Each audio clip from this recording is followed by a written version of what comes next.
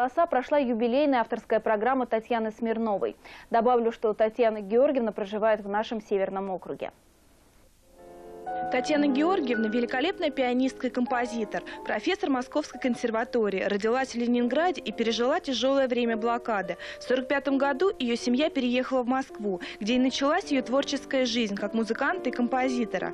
Татьяна Георгиевна стала лауреатом различных международных конкурсов, участницей престижных фестивалей и музыкальных программ во многих странах. Но больше всего она все-таки любит русскую землю. Конечно, больше всего люблю э, наше нашу страну, потому что я очень э, ну, почвенный человек, так можно было сказать, потому что люблю народные песни, люблю э, доброту, э, весну.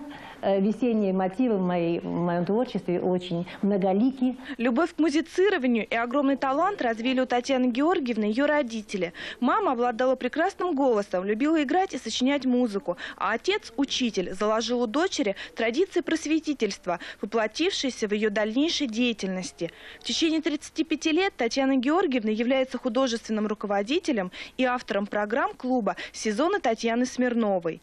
Воспитать у молодежи вкусовые пристрастия, счастья, вырастить настоящих талантов и творцов Татьяне Георгиевне помогает любовь к классике и народной музыке. Я считаю, что это очень такой ценный опыт. И э, в свое время я открыла по стране, когда еще называлась СССР, э, несколько таких клубов, они работали долгое время и работают сейчас. И действительно, те, кто приходит, они как бы получают путевку в классику жизнь классики, богатейший мир э, творчества.